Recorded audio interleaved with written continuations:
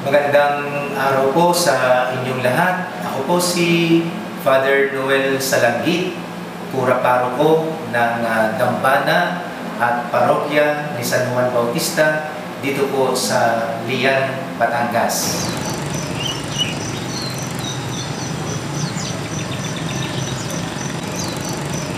Atin pong matutukayan ang ilang mga kwento na hango sa karanasan at patotoo ng iba't ibang mga tao na nagdidibusyon at namimintuho sa aming mahal na patron na si San Juan Bautista.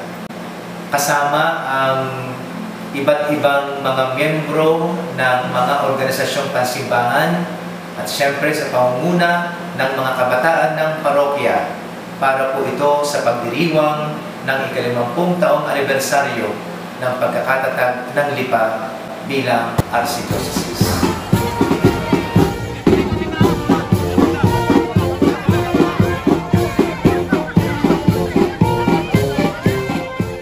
Ang pasanto ay matanda ng tradisyon dito sa bayan ng Lian. Walang makapagsabi kung kailan, kung saan, at paano ito nagsimula. Ano nga ba ang pasanto? Ang pasanto ay isang selebrasyon ng pasasalamat dahil sa maraming biyayang natanggap, katulad ng pinagkalooban ng anak, kaarawan, anibersaryo ng kasal, pagtatapos sa pag-aaral, nakapasa sa board exam o sa bar exam, natanggap sa trabaho, na-promote sa trabaho, nakapag-abroad, gumaling ang karamdaman. Ang mga deboto ni San Juan Bautista ay pumupunta sa kanyang dambana na buo ang pag-asa na diringgin ng Diyos ang kanilang mga kahilingan sa pamagitan ni San Juan Bautista. Sila ay nagdarasal, nakikiisa sa misa pag nagkataong may misa, at bumabalik para magpasalamat. Dahil sa espesyal at mainit na debosyon ng mga tao kay San Juan Bautista, ito ay diniklara August 26, 2011. Si San Juan Bautista ay maraming deboto mula sa iba't ibang bayan. Bakit parami ng parami ang deboto ni San Juan Bautista? Ang paniwala ng mga deboto, si San Juan Bautista ay milagroso. Mabilis siyang sumagot, mabilis siyang tumugon sa mga kahilingan sa kanya ng mga deboto.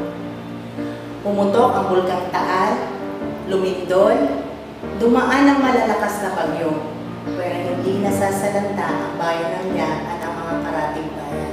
Masagana ang mga kwento ng Himala ni San Juan Bautista. Napakarami. At ang mga tumatak sa aking isip, yung tungkol sa mga Amerikanong sundalo. Meron daw matandang lalaki na marunong mag-Ingles na kasama nila sa barko. Siya ang nagturo sa kanila kung saan dadao.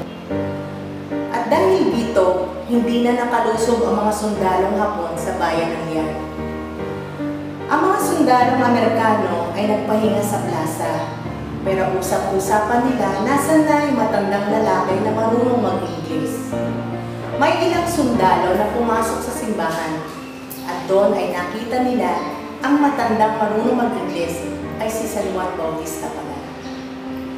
Ang sunod na himala ay sunog sa munisipyo at sunog sa palengke. Naganap ito na magkaibang panahon. Humigit kumulang dalawang taon ang pagitan ng mga pangyayari. Pero may iisang kwento. May matandang lalaki na nakita mismo doon sa lugar ng sunog na nagkukukumpas na para bang inuutusan ng apoy na tumaas. Huwag pakala. Kung masilap ang munisipyo natin, kalapit kami ng munisipyo ang bahay namin. Ay talagang ang tirik na tirik ang apoy. Inilagay doon sa Santo San Juan. Awa ng Diyos, walang nadama. Kaya isip, isang looking malala. Ang isa pa pong himala na napaka-special sa akin ay ang himala na nangyari sa aking ina. Noong pong 1978, Ang nanay ko ay na-diagnose na may diabetes at may komplikasyon sa puso. Ang ugat ng kanyang puso ay may bara. Gabi-gabi, ang nanay ko ay binabangungot, kaya dapat may nakabantay sa kanya habang natutulog. At pag-araw, kaunting lakad lamang, ay siya ay nangingitim. Dahil nga, yung oxygenated blood ay hindi nakakaabot sa kanyang puso dahil sa bara. June 24, 1978, nagaya ang nanay ko na sumimba kami dito sa Lian. Kami ay nangangamba, natatakot na kung kakayanin ba niya. Sumimba kami gabi, kapapasok lang ng prosesyon sa simbahan. Ang aming sasakyan ay doon nakaparada sa labas ng simbahan. Medyo malayo-layo. Ang nanay ko ay siyang nanguna maglakad mula doon sa sasakyan hanggang papunta sa unahan ng simbahan dahil naandoon ang imahe ni San Juan Bautista. Siya ay nagdasal, humagpos at humalik sa imahe ni San Juan Bautista. Mamayang kaunti kami umuwi na. Simula ng gabing yun, hindi na pinangungot ang nanay ko. At kinabukasan, siya'y nakalakad isang metro, dalawang metro, nakabalik sa mga dating gawain na hindi na siya nangingitim. Yun ay kinikilala naming himala, malaking himala, himala ng Panginoon sa tulong at panalangin ni Juan Bautista. Ah, 2016, ako'y napabagsak. Nagkaroon ako ng blood clot. Noong mga makalipas ang isang buwan, parang ako'y nanghihina. Nung ako'y patingnan, kailangan ako'y ma-operasyon. September 11, 2016, nung ako'y ma-opera, talagang nung ako'y nasa kwarto,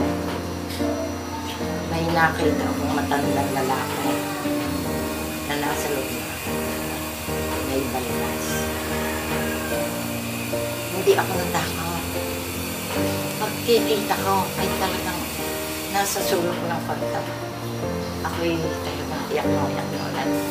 Talagang yun hindi, hindi ko makakalimutan.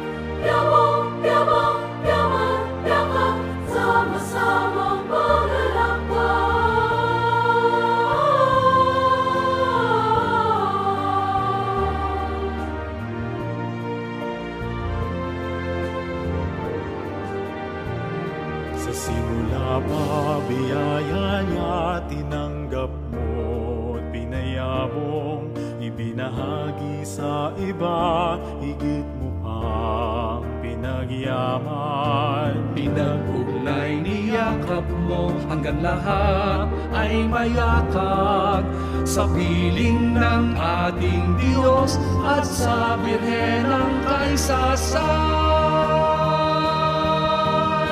Dito ang pagdiriwang, pumileyong pinagyaman, yabong, yabang, yaman, yakang, sama-samang